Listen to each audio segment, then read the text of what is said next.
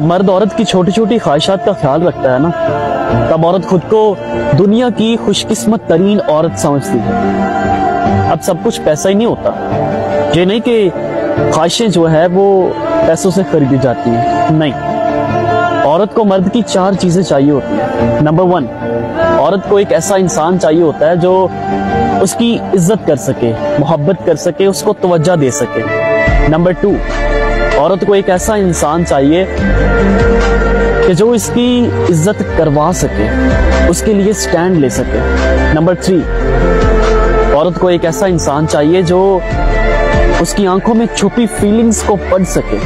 Number four और बहुत important औरत को एक ऐसा इंसान चाहिए होता है, एक ऐसा मर्द चाहिए होता है कि जो इजहार मोहब्बत कर सके। उसका हाथ अपने सीने पर रख कर कहे कि तुम्हारी जगह यहाँ है। तुम यहाँ बसते हो।